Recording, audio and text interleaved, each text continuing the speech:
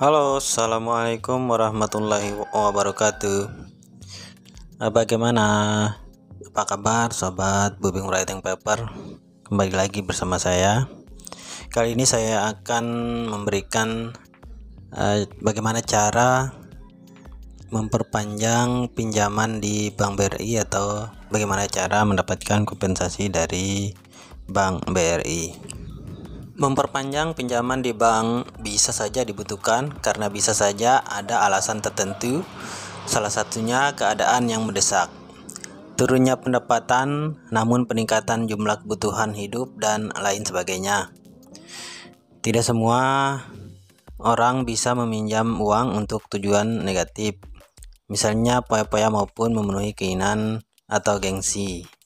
Namun ada sebagian dari orang-orang meminjam uang biasanya untuk memenuhi kebutuhan hidup akibat menurunnya pendapatan sebagaimana atau sebagai modal usaha kredit pemilikan rumah, kredit kendaraan bermotor, kemudian biaya pendidikan dan lain-lainnya. Ada alasan tersebut, meminjam uang di bank bisa dibilang lebih aman daripada ke darat atau rentenir maupun kepada orang lain seperti keluarga, teman, dan tetangga. Salah satunya BRI karena Bank BRI menyediakan jenis pinjaman berupa KUR atau kredit usaha rakyat. Adanya KUR ini sangat membantu masyarakat golongan menengah ke bawah ketika sedang membutuhkan bantuan dana untuk modal usaha. Nah, di Bank BRI, cara memperpanjang pinjamannya tidak terlalu sulit Sebab hal paling penting adalah usahakan untuk memenuhi semua persyaratan tertera agar pengajuan perpanjangan bisa diterima oleh pihak BRI.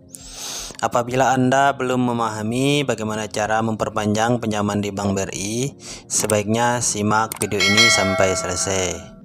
Sebelumnya, sebelum kita lanjut, jangan lupa di subscribe, like, dan dibagikan ke teman yang lain. Oke, kita lanjut. Untuk memperpanjang pinjaman KUR di BRI diperlukan syarat. Syarat memperpanjang pinjaman KUR BRI adalah perlunya membawa bukti pembayaran angsuran bulanan. Kemudian dokumen ini wajib dibawa apabila hendak diperpanjang. Sebab sangat penting untuk mengetahui sudah seberapa besar hutang yang dibayarkan kepada pihak bank. Apabila uh, ingin mengajukan tambahan pinjaman namun hutang sebelumnya belum lunas, pihak bank tidak dapat menyetujuinya. Maka syarat agar penambahan tersebut disetujui adalah dengan melunasi pinjaman sebelumnya terlebih dahulu. Baru setelah itu diperbolehkan untuk melakukan pengajuan tersebut. Selain itu, Pikirkan dengan baik mengapa perlu melanjutkan pinjaman KUR di BRI, khususnya mengenai nominal hutang sebelumnya yang harus dibayarkan sebelum jatuh tempo. Namun apabila terpaksa tetap harus melakukan perpanjangan meskipun pinjaman sebelumnya belum bisa dibayarkan lunas, uh, ajukan top up saja sebagai solusinya. Dengan mengajukan top up uh, top up kredit maka pihak bank dapat memberikan tambahan besar kredit ataupun plafonnya. Berikut cara memperpanjang pinjaman di Bank BRI. Cara melanjutkan pinjaman di Bank BRI selain harus sudah memenuhi syarat juga ada beberapa hal yang perlu uh, Anda lakukan. Pikirkan secara matang-matang sebelum melakukannya agar tidak menyulitkan diri sendiri.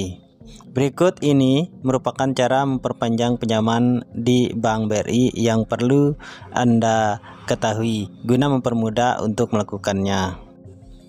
Caranya, datang ke kantor cabang BRI terdekat, kemudian e, mengambil e, nomor antrian untuk menghadap ke customer service. Nah, apabila sudah dipanggil, silakan mendatangi customer service sesuai dengan instruksi. Beritahu ke customer service bahwa Anda hendak memperpanjang pinjaman dana. Kemudian ajukan penjadwalan kredit atau reschedule kredit kepada customer service. Selanjutnya Anda akan diarahkan untuk menemui debt collector. Nah, kemudian petugas debt collector nantinya akan e, meminta Anda untuk menjelaskan secara rinci mengapa harus memperpanjang pinjaman di Bank BRI. Eh, selalu tunjukkan keseriusan niat bahwa pinjaman atau hutang pasti dilunasi. Dengan begitu, syarat perpanjangannya pun bisa segera disetujui oleh pihak Bank BRI. Apabila hendak menambah pinjaman, wajib melunasi hutang sebelumnya terlebih dahulu. Setelah lunas, baru dapat mengajukan penambahan pinjaman kepada pihak Bank BRI.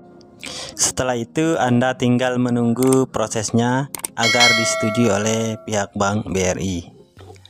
Nah, itulah cara memperpanjang pinjaman atau uh, top up di Bank BRI. Nah, kan tetapi di sini saya tekankan pertimbangkan secara matang mengapa perlu melakukan perpanjangan. Selain itu, jangan lupa untuk menunjukkan etikat baik. Dan yang paling penting lagi yaitu alasan Anda untuk mengajukan perpanjangan pinjaman itu harus logis atau masuk akal. Nah, demikianlah dari saya cara memperpanjang pinjaman di Bank BRI. Jika eh, cara ini eh, bermanfaat bagi sobat semua, jangan lupa sekali lagi di subscribe, like, dan di share. Semoga usaha Anda sekalian eh, sukses. Demikian dari saya. Assalamualaikum warahmatullahi wabarakatuh.